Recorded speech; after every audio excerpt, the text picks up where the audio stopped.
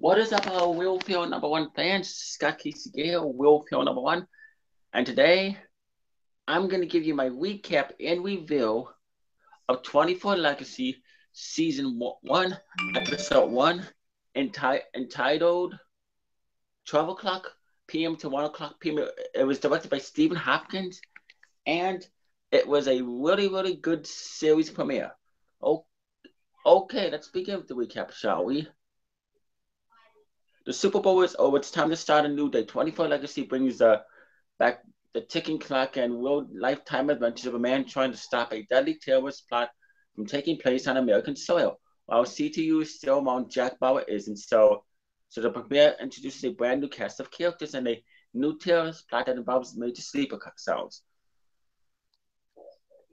Eric Carter versus the terrorists.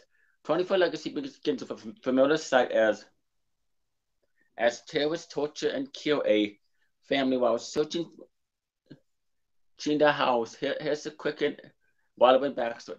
Six months ago, a team of Army Rangers under under command of CTU to waited the, the compound of a terrorist mastermind, my, my Ibrahim bin Khalid, killing him. Afterwards, the six men and their family and their families were given new identities, but now they've been discovered by bin Khalid's people, who are hunting them down in search for a stolen strongbox. One of the two, one, one only two of the Rangers are alive.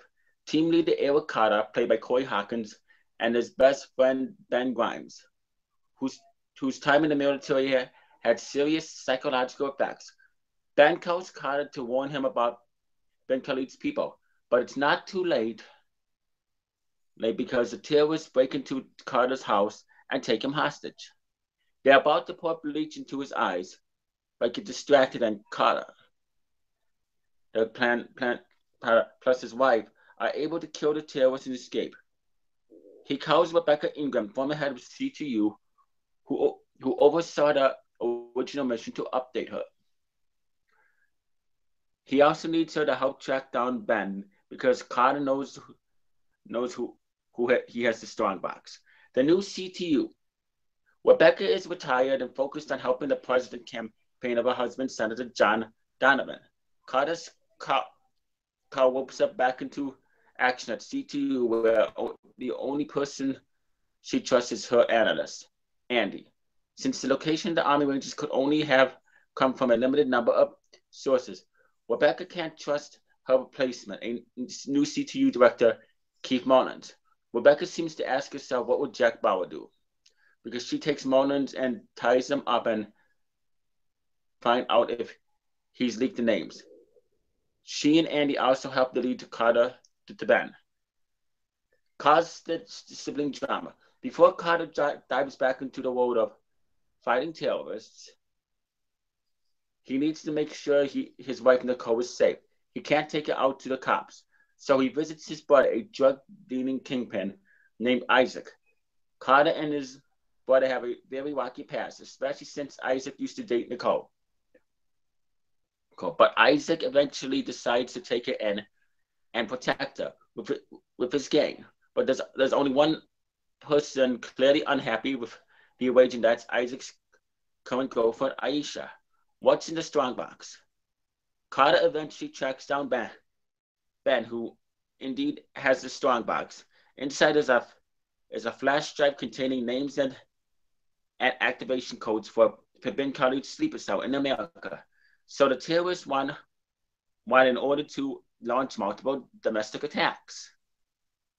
Bin Khalid's men find them, but a big action sequence in, involving a giant rolling cylinder leaves Carter the victorious.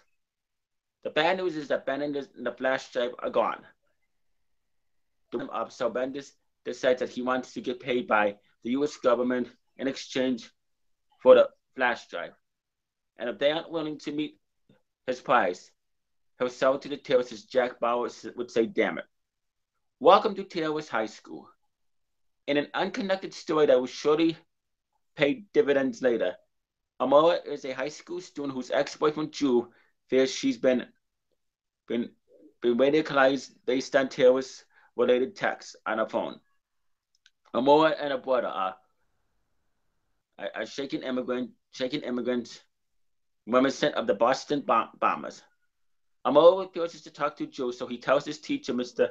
Harris, about his connect, about his concerns. Unfortunately for Joe, in the truly 24 style twist, Mr. Harris is having an affair with Amira and is helping her was plot by using see his chemistry skills to create a weapon. It's probably safe to assume that that are part of the one that killed bin Khalid's one of those bin Khalid sleeper cells, just waiting to be activated. And I would give this episode four and a half stars. It was really good. I didn't think it was going to be as good as the original 24, but it is. I mean, it's really good. The, I think the cast is good. I think the characters are good. I, I really like the plot, the story plots, and the, the plot twist and storyline. I think it's um going to be great, great, and I think it's going to get better than a lot of people expected. Anyway, like I said, I would rate this four and a half stars. Two thumbs up, way up. Comment down below in the comment section. Tell me, Scott Casey Gale, what you thought of the, the series premiere of 24 for Legacy Season 1, Episode 1, titled 12 o'clock p.m. to 1 o'clock p.m. What do you think is going to happen in the remaining 11 episodes?